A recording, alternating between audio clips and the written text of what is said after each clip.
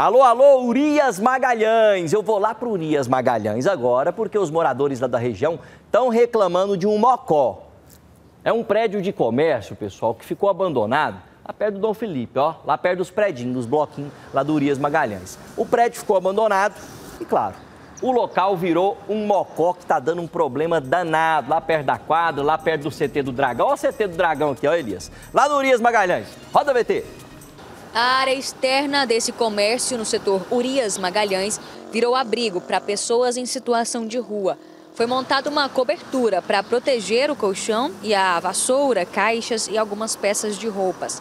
A estrutura, onde funcionava um bar até o final do ano passado, fica na esquina da rua Vitória Régia com a Panorama e compartilha o um muro com esse condomínio. Essa moradora, que prefere não ser identificada, afirma que a presença deles tem gerado medo nos moradores. Eu fico com medo de assalto ou roubos, coisas assim, né? E de aumentar essa população, igual eu vejo na TV acontecendo, né? Então, tem pouco agora, né? Mas era um, era dois, agora já tem três, quatro que fica ali. Antes eles ficavam e iam embora. Aí agora eles já vêm, já estão dormindo ali, então montando barraca ali fora. A mulher conta que já presenciou um deles passando mal e que até chamou ajuda. Eu não sabia se ele estava, né, passando uma necessidade de dor, alguma coisa, ou estava com com efeito de droga. Outra reclamação dos moradores aqui da região é com relação à iluminação pública.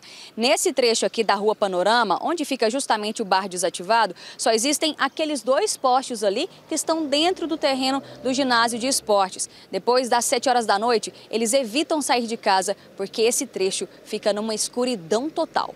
Espero que façam alguma coisa, né? O poder público tem que fazer alguma coisa. Eita, eita, eita, hein, pessoal? Atenção, atenção, poder público. Vamos chegar lá no Urias Magalhães, até porque, gente, não é só questão de tirar a pessoa de lá, porque assim, a gente tem que olhar pelo lado social também né? Tem que ver o que, ela está precisando, a ajuda e tudo. Se ela quiser ajuda, essa ajuda tem que ser oferecida. Inclusive, a respeito da falta de iluminação lá na região do Urias, a Secretaria Municipal de Infraestrutura informou que uma equipe foi designada para fazer a manutenção na rua Vitória Régia. A secretaria pede ainda que a população encaminhe as reclamações, as solicitações, as demandas pelo aplicativo diretamente, o aplicativo Prefeitura 24 horas.